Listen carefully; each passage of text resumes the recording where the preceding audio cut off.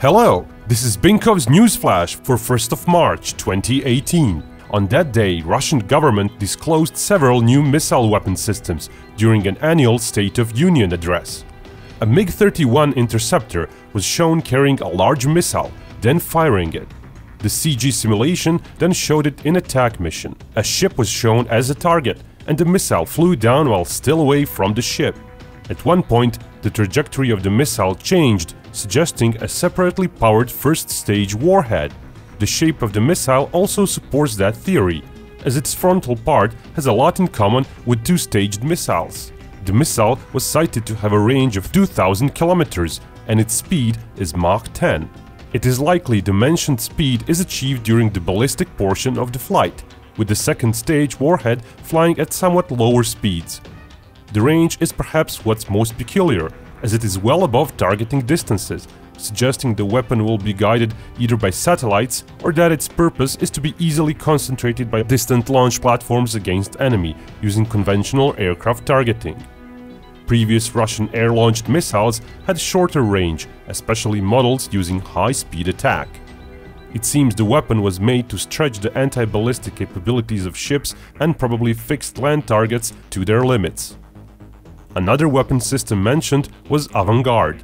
It's a high-velocity glider warhead meant for large ballistic missiles. Its existence was known before as it was tested, but now the claim was made the weapon has entered serial batch production. If so, it would suggest active service could come within a year or two. It was shown gliding for thousands of kilometers, changing altitude and moving thousands of kilometers laterally, evading possible threat zones. When fielded in numbers, such warheads will also test the strategic anti-ballistic systems to their fullest.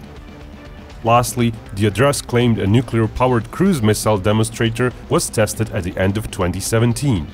And with the success of the test, the doors were opened to start further development of that technology into operational missiles. Sized like today's missiles, but with a range increase of a few dozen times. Essentially unlimited range.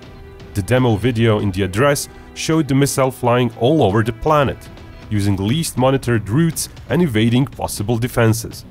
In all likelihood, the missile should contain a ramjet engine, with the nuclear reactor heating up the air instead of a combustion engine. Such technology was trialed by US in Project Pluto in 1960s, but the project was deemed not prospective back then. While this project seems least ready and various difficulties may arise in its development, if such a missile does see the light of the day, it would greatly complicate defenses as it could come from literally any direction at any time. Time will tell if all three of these will see successful active service, and how will the US respond.